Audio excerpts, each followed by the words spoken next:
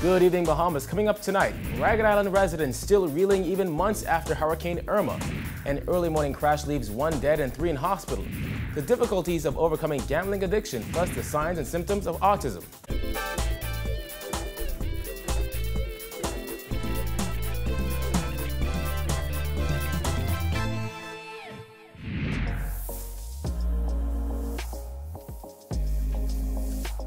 Our News is brought to you by Alive.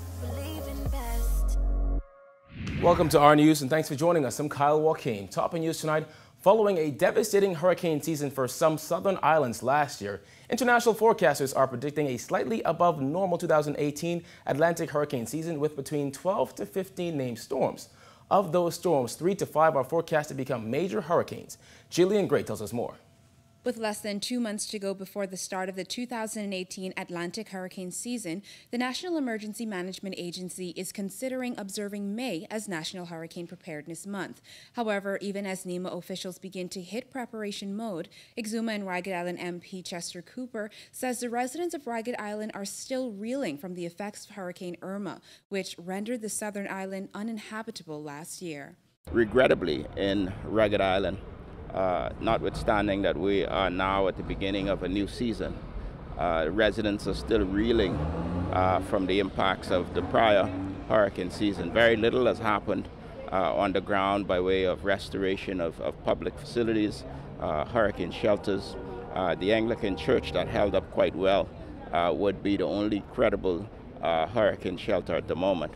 No home or public building was left untouched by the dangerous storm, which left many homes with no roof, windows, or door. Power lines were also damaged, leaving residents without power. Cooper says the island's administration building, police station, and clinic are still in a state of disrepair, and residents are still in desperate need of assistance. Residents are still very much in need of building supplies to secure uh, their properties uh, they receive very little, if any, assistance uh, from NEMA.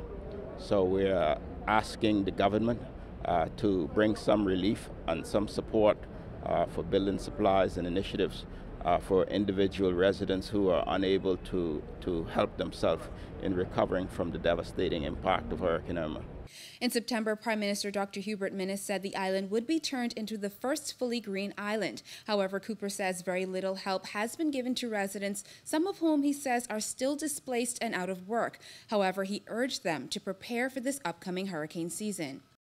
Residents of, of Exuma, Ragged Island, and across the Bahamas uh, are urged uh, to begin their preparation early uh, so that they are fully prepared by the time a hurricane uh, arrives. Following the catastrophic impact of storms on the Caribbean and United States last year, the names Harvey, Irma, Maria, and Nate have officially been retired from the Atlantic Tropical Storm List. They have been replaced by Harold, Idalia, Margot, and Nigel. Reporting for Our News Weekend, I'm Jillian Gray. One man is dead and three others in hospital tonight after a car crash on Paradise Island early this morning. According to Assistant Superintendent Paul Cash, the incident happened just after midnight where a car was headed over the Sir Sidney, Sir Poitier Bridge, but did not stop at the toll booth. The car reportedly then crashed into a wall in front of the Club Land'Or Hotel, overturned and burst into flames. The four people were removed from the vehicle. However, one male succumbed to his injuries en route to hospital. The remaining three are said to be in serious but stable condition. Gambling addiction, a major concern for officials at Sandilands Rehabilitation Center. With staff reportedly dealing with an increasing number of cases, the center will host a symposium this week on how to deal with gambling addiction. Giorgio Bain reports.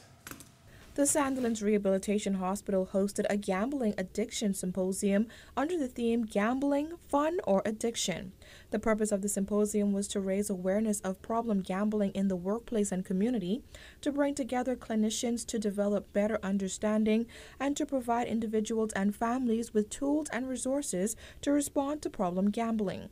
Keynote speaker Dr. David Allen addressed the harmful effects and prevalence of gambling addiction in the Bahamas. Addiction is a united illness that brings together alcohol, gaming, anger, uh, sweethearting, sexuality.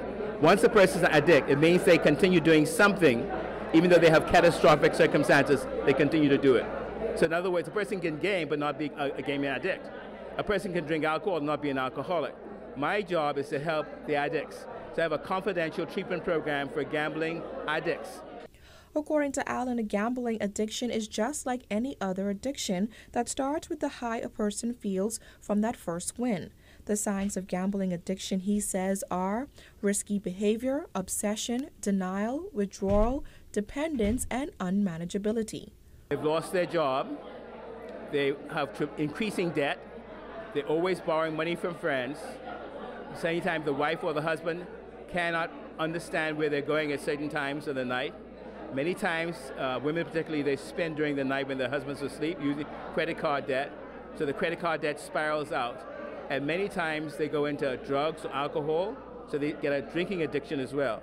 The other sad thing about it is that when they're shamed after having lost so much, because many times when you become a serious gambling addict, you also become a sexual addict. And in that way, you do things not in keeping with what you would ordinarily do. The first step to getting help for yourself, family members, or friends is just to admit that you need help, according to Allen, who says women are more willing to get help than men. This is something he hopes to see change very soon. And right now, um, it's almost five to one women. More women are coming forth than men.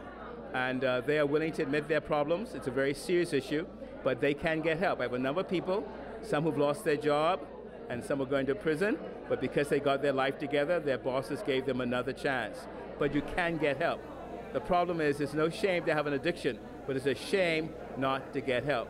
Reporting for our News Weekend Edition, I'm Georgia Bain.